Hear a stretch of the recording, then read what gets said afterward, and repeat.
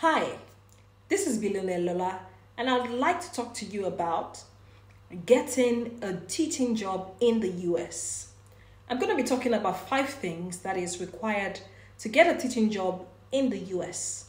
Please take your pencils or your pens and your pads, take note of very important information. Now, you need to establish the fact that what type of schools need teachers in the US, or what type of schools would you like to work with? Is it a charter school, or a district school, or a private school? So you need to establish that. Then you need to do your research for schools. You could check on Indeed, you could check on LinkedIn for schools that actually are in internationally trained teachers. Now, you know the type of schools you're targeting and you have a list. The second thing you need to look out for is the job description and the skills that are required to get that job.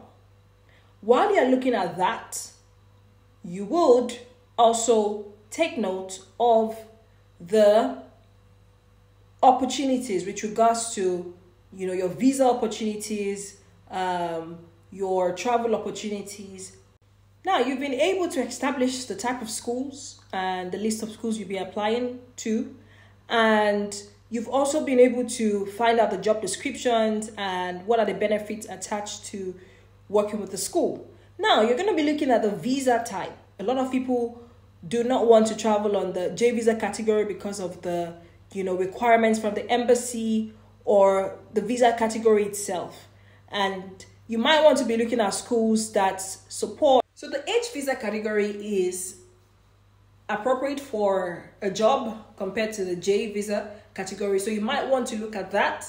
And the next step is to find out if your CV is actually tailored towards the US style and your keywords on your CV actually is what would be sieved and checked if you have the right skills for that position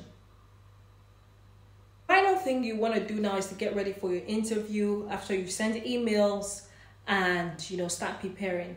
And which starts from the evaluation process or the documentation process um, to your teaching and many other things. That's why you need to join our international teachers training program that's going to be happening in april till may.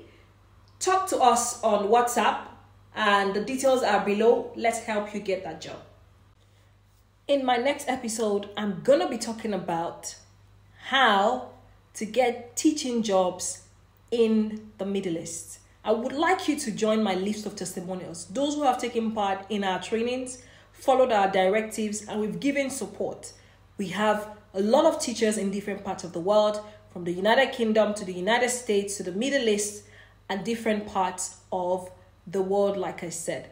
Thank you so much, and I'm going to see you next time.